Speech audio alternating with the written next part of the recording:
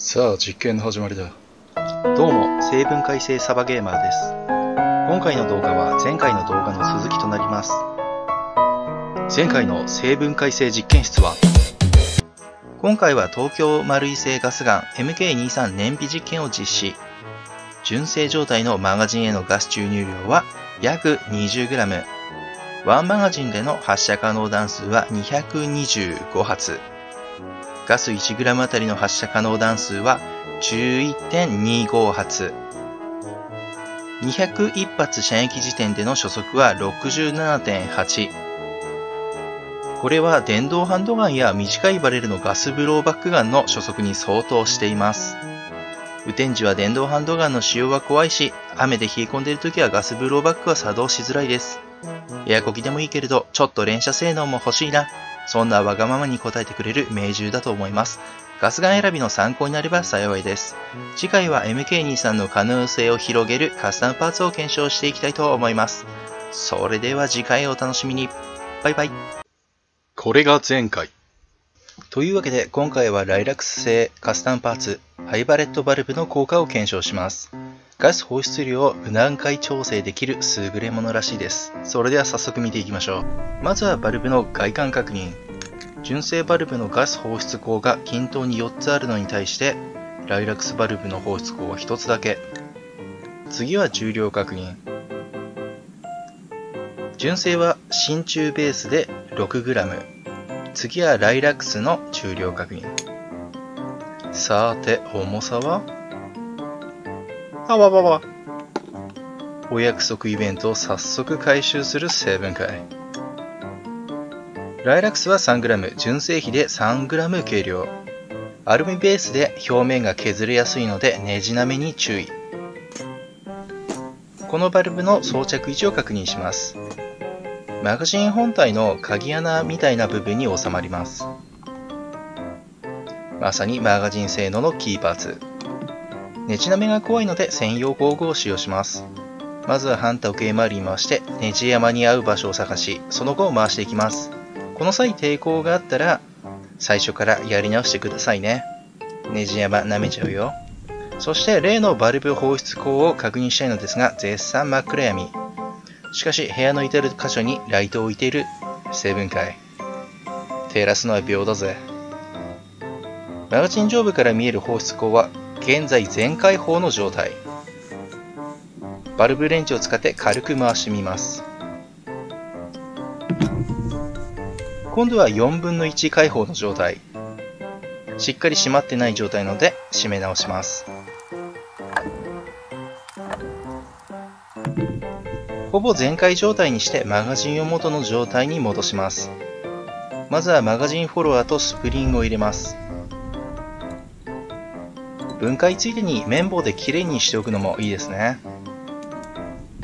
この後、マガジンリップとルートパッキンを入れるのですが、マガジンフォロワーを指で下げた状態でやるといいです。右手に持ってるのがマガジンリップとルートパッキン。これを真上から均等に入れていきます。無理に斜めに入れるとかはやっちゃダメですよ。最後にマガジンリップの固定ピンを入れます。ピンを入れるのはこの穴の部分。ピンにはギザギザとツルツルの部分があるのですが、今向いている面からツルツルの方が先に入れるようにします。抜けた時よりも入れるのに苦労する場合は、マガジンリップがフォロワーに押し上げられていたり、ルートパッキンがきれいに入っていない可能性大。では、組み込み後のマガジン計量 354g。純正マガジンは 356g なので、バルブ重量分軽い状態。引き続きガス注入を行います。21g 注入の状態。隣にあるのはガス注入後の純正マガジン。こちらも 21g の状態。純正の真鍮バルブです。次は 0.2gBB 弾を10発装填して実写実験を行います。まずは純正マガジンでの初速を確認。1発目80.5。2発目以降はほとんど79でした。6発目で78.9。9発目で80台に戻り10発目は79平均初速は 79.5. 射撃後のマガジン重量は 376g。10発射撃で 1g 消費。続いてライラックス側の軽量。こちらも 377g。バルブはほぼ全開状態だけど初速はどうなるか。ここでトラブル発生。バルブが解放されない状態。ライラックスのホームページを確認したところ、どうやらこのバルブは回収対象品っぽいぞ。しかしここで諦めたら成分解性実験室の流さる。とりあえずバルブ4分の1開放での初速から確認します。予定とは違うが仕方ないよね。1発目58、2発目59.7、3発目60、4発目59.5。8発目までは59から60で安定。10発目は58.7最高値と最低値の差は1.3かなり安定している数値だと思います。その後バルブ全開状態での組み込みに成功。改めてガス満タン注入状態で初速を確認。1発目80.8 2発目82.6 3発目82.2 2発のエラーの後は7発目80.5 81.3、81.5、ラスト80.8。初速のばらつきに気を取られて11発撃っちゃった。平均初速は81.5。射撃後の重量は374。3g 消費。純正より初速が1に上がった代償がこれ。ガス満タン値は燃費が不安定になりやすいとはいえ、この燃費が続くとやばいぞ。とりあえずこのマガジンで何発撃てるのか確認します。前回同様50発ごとにマガジン計量。重量は 370g、7g 消費。1g7 発まで燃費が改善。次は100発まで射撃。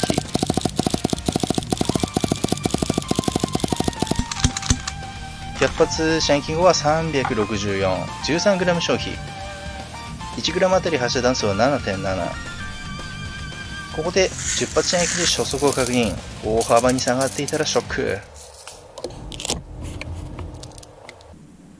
101発目77.7、その後76.8、76.7、76.0、75.2、75.3、75.0、76.0、75.6平均初速は76.04で初期から5.5低下。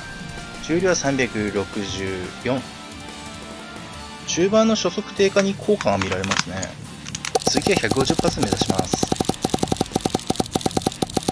重量は 361g、16g 消費。1g あたり9.3発まで向上。次は200発目指して中指発動。201発射撃後は357。1g あたり10発まで向上。